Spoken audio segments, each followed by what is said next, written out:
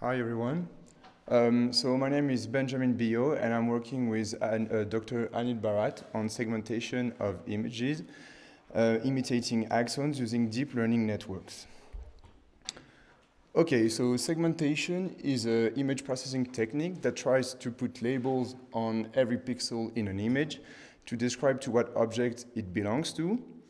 Um, and here in that project, we try to use segmentation to extract neurons from images in order to study their shape. so sh the shape of a neuron contains a lot of information about its plasticity and about states of uh, disease, such as Alzheimer's disease.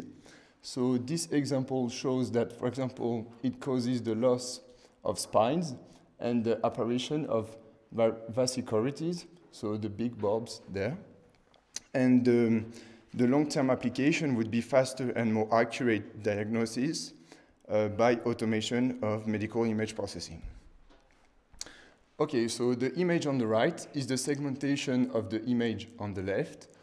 Uh, as we can see, this is quite a good, um, a good approximation of this image but it has some defaults. So for example, the red circles shows that sometimes the segmentation can be arbitrary. And with the fluctuation of intensity along the axons, we can, all, uh, we can see that it introduces gaps. So the, the current techniques of segmentations, uh, they're also designed for one kind of images, and the problem is that they are weakly transferable. So um, that's why we use a deep neural network uh, to, to get, uh, to teach the network to uh, reconstruct the segmentation image at the end. Um, okay, so this is not the network I'm using because I've changed my slides, but anyway. Um, so I'm using a, a UNet uh, that tries to capture the main features of an image and then to build up the segmentation by integration of contextual um, information. And eventually we reconstruct the segmentation uh, with the gaps that has been filled. Um, um, yeah.